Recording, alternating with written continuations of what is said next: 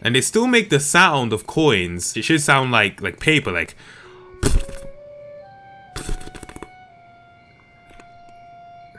We gotta act like I didn't just do that.